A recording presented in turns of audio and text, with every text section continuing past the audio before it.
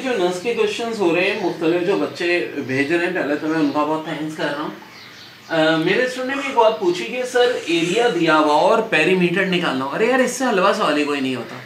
Area of square दिया हुआ था। स्क्वायर किसको कहते हैं? जिसकी चारों साइडें इक्वल हो। एरिया ऑफ़ स्क्वायर का फार्मूला होता है एस स्क्वायर साइड स्क्वायर किसके इक्वल दिया हुआ है? 625 के। अगर 625 एस स्क्वायर है तो एस कितना हो जाएगा यार? 25 हो जाएगा। 625 का रूट ले लें पेरीमीटर का मतलब होता है साइड का सम चार साइड स्क्वायर की, चारों सेम है तो ये 4s साइड 25 है 25 को फोर से मल्टीप्लाई कर तो 100 आ जाएगा. इससे हलवा सवाल क्या होगा? ट्राइंगल के तीन वर्टिसेस हैं three common two minus three common zero five common two और कह रहे हैं पेरीमीटर निकालो. बहुत आते हैं ऐसे सवाल. यानी कि साइडों का सम तो डिस्टेंस फार्मूला यूज़ करो. थ्री और टू यहाँ पॉइंट है माइनस थ्री और ज़ीरो है. मैं तो, अलहमदुल्ला कैलकुलेशन बहुत तेज है तो मैं फॉरन के फॉरन के आपको करके दे देता हूँ। यहाँ रूट फोर्टी आ जाएगा। फाइव और थ्री यहाँ रूट सिक्सटी एट आ जाएगा। यहाँ रूट फोर आ जाएगा।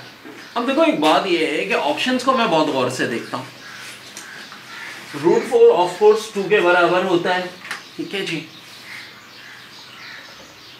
इसको हम फोर टेन सा लिख सकते हैं। यानी टू रूट टेन सिक्सटी सा लिख सकते हैं। यानी टू रूट सेवनटीन। क्यों? उन्होंने आंसर ऐसे ही दिया हुआ है फाइनल टू दिया फिर दिया है root seventeen plus root ten plus one. Of course यार, जब इनको प्लस करोगे, two root ten plus two root seventeen plus two. तो एंड में आंसर ऐसे ही आ जाएगा। Two common निकलाएगा। Root seventeen plus root ten plus root और नस में इतना हलवा सवाल दिया था ये एक दिन, दो दिन पहले के जो पेपर में। यहाँ एंगल एक्स है, ये एंगल सिक्सटी है और ये राइट एंगल बोले तो ninety degree under root two sec x की वैल्यू पूछ रहे हैं। तो भाई ये सिक्सटी है।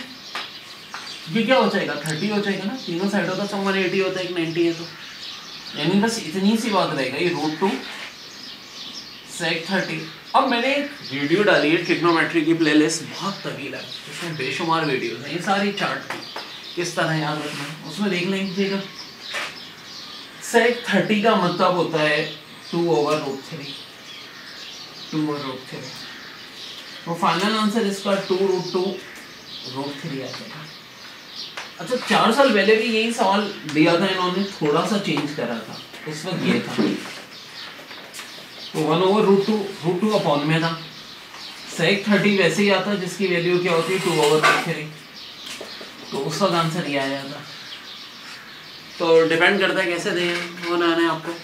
बहुत सिंपल सा वाले थैंक्स अ लॉट